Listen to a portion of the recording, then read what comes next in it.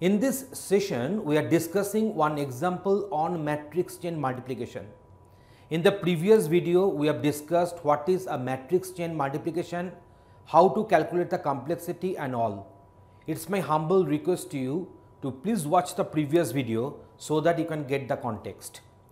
So, we discussed that the productions of multiplications like this that is m1 into m2 into dot dot dot, into mr this is known as matrix chain multiplication.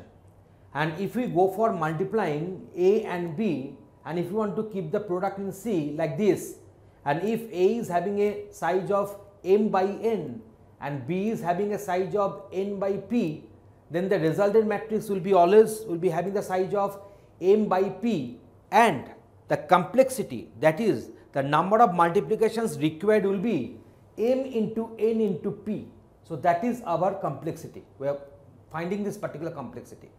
Okay. Now, see let me go for the respective example. So, please remember this is our matrix chain multiplication and another thing is that this is our complexity we should have to use them in our uh, example also. Okay given matrices are M1, M2, M3, M4.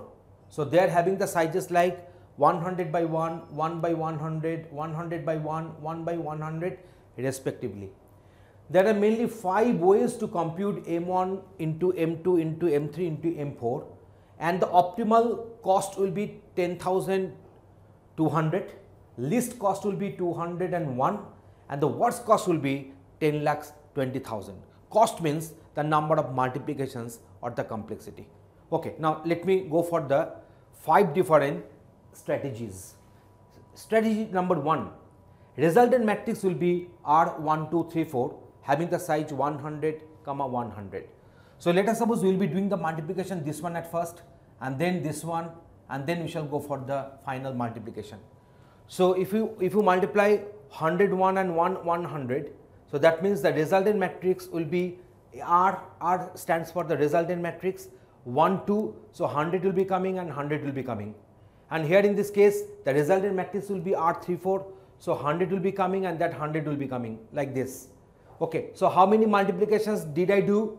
So, 100 into 1 into 100. Here how many multiplications? 100 into 1 into 100 and here how many multiplications? That is 100 into 100 into 100. So, if you go on doing it is 10 lakhs 20,000. So, that is the worst case. There is a maximum number of multiplications required for this particular case study. Now, strategy number 2.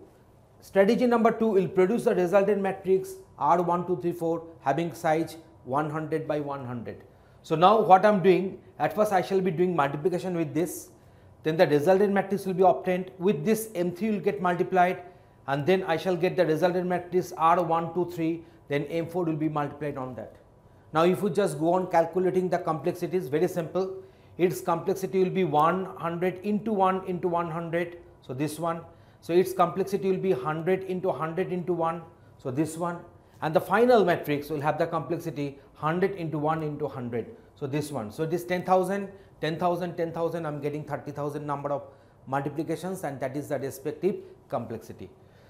Strategy number 3 resultant matrix will be having the uh, dimension like this. So, here what, what we are doing, we are doing the multiplication between M2 and M1 at first and then with that I shall go for M4 and at last I shall go for M3. So, if you do the multiplication resultant matrix, uh, matrix will be R21 1 comma 1 and then I shall go for this M4 1 and 1 are matching. So, that means the multiplications are allowed and in this way I am getting this resultant matrix and this is my respective computational complexity. Similarly, I can go for strategy number 4 and here we are doing M2 M1 multiplication at first with this with this resultant matrix with this resultant matrix I shall go for M4 and then M3 will be coming at the last. So, now this is my M21 I am getting this M21 I think it is better if I write this one as R to give the parity So, R21 that is M4 will be coming. And then with this uh, resultant matrix M3 will be coming for multiplication. So, this is my uh, way to get the multiplications and this is my complexity. So, here the complexity is 1 into 100 into 1, 1 into 100 into 1 so that is the this one. And then I shall go for this. So 1 into 1 into 100 so that is this one.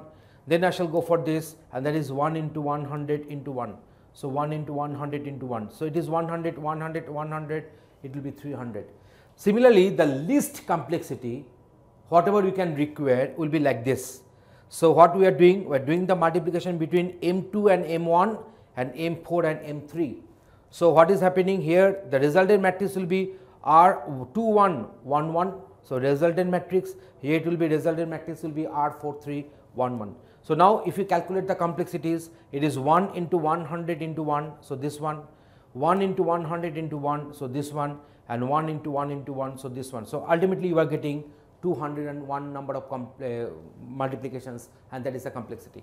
So, you see the worst case is this one and the optimal is this one and the best case is this one. So, in this way if such question come to calculate the computational complexity you can proceed in this way. So, I have demonstrated all the 5 different ways in which you can do the multiplications and where the complexities will be ranging from maximum to minimum. So, I think you are getting this logic. Thanks for watching this video.